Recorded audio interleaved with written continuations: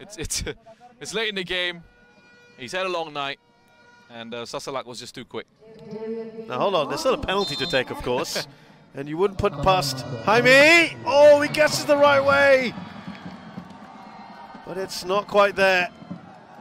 And they get their goal through Peeradon.